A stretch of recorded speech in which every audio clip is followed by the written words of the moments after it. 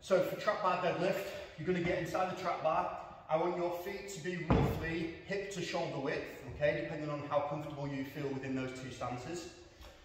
What I want you to do, first off, is think about pushing your hips back and getting a big stretch in your hamstrings, okay? So it's a trap bar deadlift, so I want it to be deadlifty in a sense. I want those hamstrings to be working.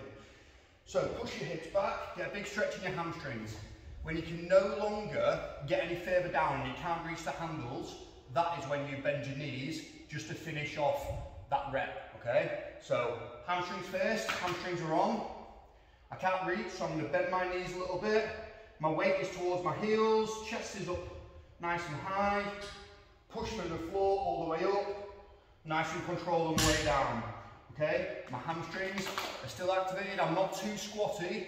Okay, you want your chest to be high, but you don't want to be so high that it's a massive knee bend because then, then this is basically just a squat, okay?